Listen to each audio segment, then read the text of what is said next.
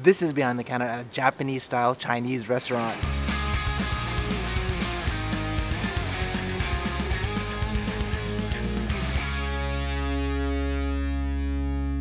So this morning we're all the way in Tokyo's Asakusa area and we are going back five generations at this father and son Chinese restaurant. I'm so excited to take you guys behind the counter for this one so let's just get this one started. Asahi is a Japanese-style Chinese restaurant with a rich history spanning over a hundred years. Originally from the Nihonbashi area, the shop tragically burnt down during the war, but was later rebuilt here in one of Asakusa's hidden backstreets, just behind the iconic Sensoji Temple. And now this hidden gem is run by a father and son duo serving lines of locals each and every day. Good morning! He's the owner, Ueki-san, and usually the first one to come in. It's so hot today, isn't it? Apparently, he took over the shop from his father when he was 29 years old, making him the fourth generation owner in his family. But he actually started his career at the age of 16, studying under his grandfather's friend at a traditional Japanese cuisine restaurant in Shimane Prefecture, after which he worked in other industries to gain more life experience before settling back down here. The first thing he does in the morning is to take care of the desalinated menma, bamboo shoots used in their ramen. So how old is this restaurant again? もう120年ぐらい僕4代目 Damn, it goes way う back. ちの息子が今度5代目で How long have you been working here then? 30年ぐらいですかね That's amazing. So you live here? そうここあの実家です You must know everyone then. もちろんもちろんこのおじいちゃんとかおばあちゃんそれから親父おふくろみんなあのこの辺ですからここここだから あのお祭りもあるしね Oh, when's the 5 festival? 月もう終わっちゃいました三社祭りってお大きいのがあるんだよ Ah, that's a famous one. はいおはようございます Good morning. Oh, the chicken delivery is here. Hello. チューブだおおすごいね一人あの色男だよろしくねかっちゃん Haha, They're so close. Having a generational business like this, the family's developed many strong relationships with vendors going as far back as his great grandfather. Another delivery. This time it's the noodles. お蕎麦屋さんの社長です Oh, really? So tell me something about your 木 noodles. 材を一切使ってないんでそれが売りでやらせていただいてるんで前日にご注文いただいたやつを当日で製造してやらせていただいてます Damn, those are some fresh どうも nudes. ありがとうございますすいません Thank you.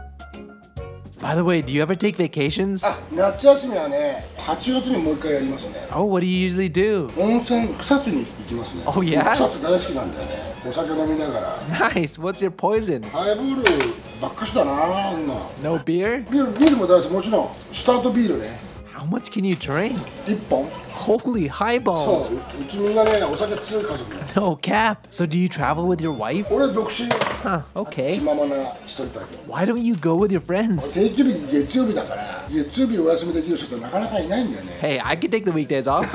じゃあ今度行きましょうはいよ Oh, he's already taking a break. Apparently, there's not a great deal of tasks in the morning aside from preparing the soup, which requires several hours to cook. Wow, he drinks three cups of coffee. Take a coffee break By the way, how old are you? もう57歳 Damn, you look way younger. そうそう若いって言われるけどちゃんと57年生きてます適当にだけど During this downtime, he works on the shop's accounting and other desk related tasks, as it's also his responsibility as the business owner to keep all the paperwork in order. More deliveries! Does it come every day? そう毎朝届きます Now that the pork bones and pork feet have been delivered, he adds them to the chicken based soup, which will ultimately be used for the shop's signature ramen dishes. After boiling for a while, he blends the original batch with today's, which is a cooking method in Japan known as tsugitashi. It's supposed to deepen the soup's flavor and why it's commonly practiced among many ramen shops. Now he quickly cleans the workplace to ensure the utmost cleanliness, despite his son thoroughly cleaning the kitchen the night before. So why the name Asahi? あ名前ねなんで朝日なのっつっておじいちゃんに聞いたんだけど戦争中だからだろうっつって What do you mean? 朝日ってほら登る一方じゃない商売的にねどんどんこう登ってったらいいんだよ沈まないだからまあそれで納得だよね Ah, yeah, that makes sense. And wow, the pork looks so fresh. The shop uses 5 kilograms of pork a day to make their special chashu, sourcing it from their trusted wholesaler who provides them with only fresh domestic cuts, which are never frozen. Do you know why your great grandparents chose Chinese food for their business? まあ売れると思ってやったんじゃない当時はまだね第二次世界大戦の前だから今はね東京はさ世界中の料理が食べられるけどその当時は中華料理が珍しかった I see. So what's the difference between Chinese food in Japan and China? ねまずね調味料の味日本のお醤油はねまあしょっぱいじゃない？中国のお醤油はね甘いんだはお米の質ね日本の米はほら粘り気があってあの、まあ、チャーハン作ってもパラパラしない。あー OK それからジャンだな。あんなにジャン使わないもん He says that Japanese style Chinese is more casual and has less menu items compared to authentic Chinese food. Japanese style Chinese restaurants like Asahi are known in Japan as Machi Chuka, directly translated town in Chinese. Its origins trace back to the 1600s when it arrived in Japan's Nagasaki area during the Edo period, but through time underwent a gradual evolution to suit Japanese tastes, and even developing original dishes like chukadon and shrimp mayonnaise, one of my favorites. Now he removes the pork used for their chashu but leaves the chicken bones in the soup stock throughout the day, which creates a progressively rich flavor as the day goes on. Regulars are aware of this and enjoy visiting at specific times depending on their preferred taste for that day.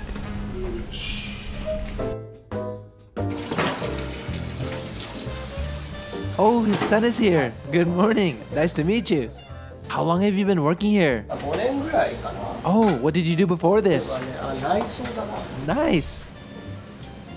Surprisingly, Ueki-san was contemplating closing down the business when he retired, but his son told him that he wanted to carry on his family's tradition, which secretly made him smile. After all, the shop is where he grew up and it's been a part of his life since he was born. Not only that, the neighbors and his friends who have regularly visited throughout his lifetime makes this place truly the home he's only ever known. And now he even feels more grateful that the tradition and flavors his ancestors built will continue on for another generation. What are you singing? 適当に思いついた曲を「Life is Music Haha, sweet.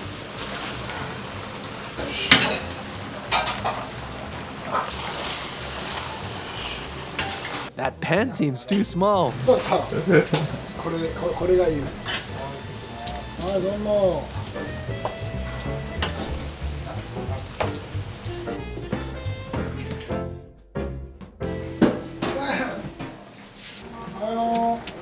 Hi, nice to meet you. お願いします。 Have you worked here for a while? いや、10月で1年目です。 Cool, how'd you find this job? もともとここで働いてる友達の紹介、そう人が足りないって聞いたんで、 And what do you do when you're off?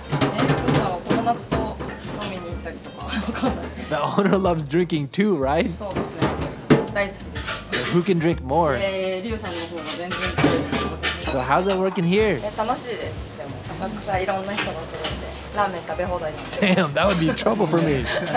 So this shop is located more specifically in the Ura Asakusa neighborhood, one of Tokyo's old school geisha districts dating back to the Edo period. Although these days it's more rare to see a geisha, but back then many of their customers would stop by here for a late night ramen.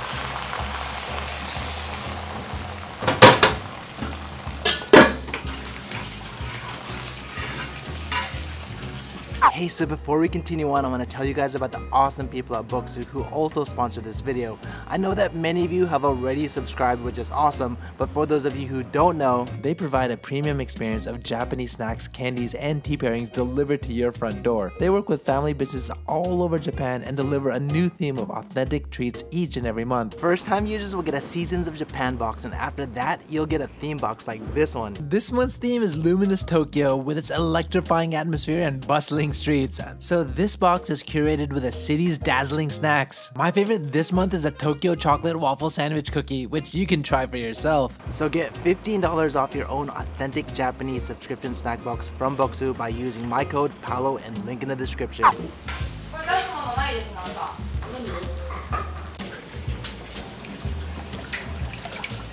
Now he finishes up the soup for hiyashi chuka, cold style noodles, popular in Japan. Oh, you're gonna let me taste it? That's good. It's his routine to taste today's soup and compare it with yesterday's, making sure that today's soup tastes exactly the same. As an owner of a restaurant that's been successful for over a century now, he believes it's critical to stay true to the original recipe and taste created by his ancestors, also mentioning that even the same recipe can taste differently, so he takes extra care to maintain their shop's signature flavors.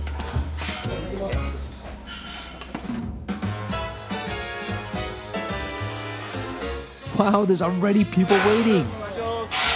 At 11.30, the restaurant is finally in business.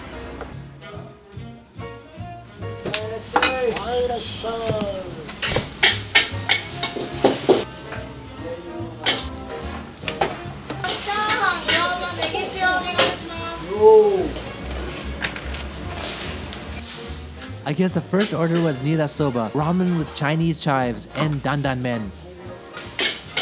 Usually the son is responsible for stir frying, while the Ueki-san takes care of the noodles and cutting. And the server adds a garnish and sides, then carries the dishes to the tables.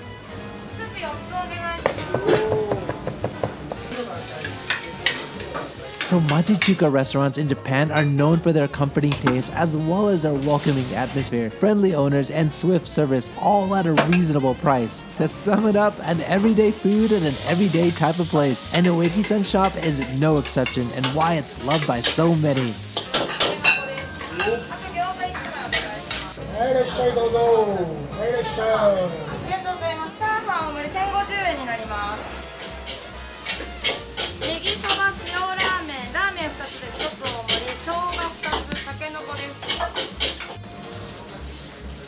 And that's their top seller, Shoga Ramen, a delectable ramen crowned with a flavorful ginger topping. Interestingly, it's one of their many new items Ueki-san added to the menu himself. Initially, he focused on faithfully recreating his family's original recipes, but when he traveled to Southeast Asia, exotic foods inspired him to be more creative. And now he explores outside of traditionally known machichuka dishes, serving both typical dishes and ones he created himself. He also says that over time, he realized that it's important to loosen up a little bit in order to continue continue on his family's legacy.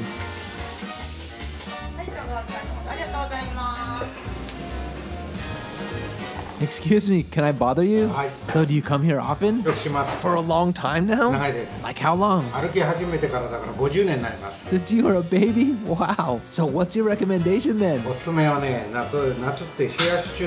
でもこれ普通のところは夏しかやってないんだけどこのお店は一年中やってるからもう全然ね他の冷やし中華とか味が違うここでしかできる食べられない What about the winter? 冬のおすすめは最近は生姜そばとラーメンも美味しいですよ Thanks Excuse me, you come here often? そう隣なんだけどなかなかこのお店忙しいからさはい、うん、なかなか来れないね Oh, okay.